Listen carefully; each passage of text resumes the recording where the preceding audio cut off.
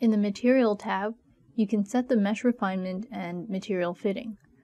The default mesh refinement is Conformal Variant 1. This applies Lumerical's conformal mesh to all material interfaces, and this is the recommended setting. You can click on How do I choose to get more information on the knowledge base. As we previously discussed in the Materials section, broadband fitting is not used by default. If you want to perform a frequency sweep, you can enable the fitting here and set the default parameters for all materials. Note the material fit properties are linked between the Material Explorer and the Material tab. When you adjust them in one place, they are automatically changed in the other. Now let's have a look at the Impedance tab. Calculate Characteristic Impedance is not enabled by default.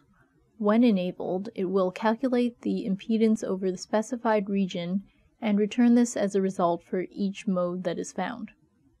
This is useful if you perform a parameter sweep to track the impedance. Otherwise, the impedance can be calculated manually by using the Power and Impedance Integration tool in the Modal Analysis tab.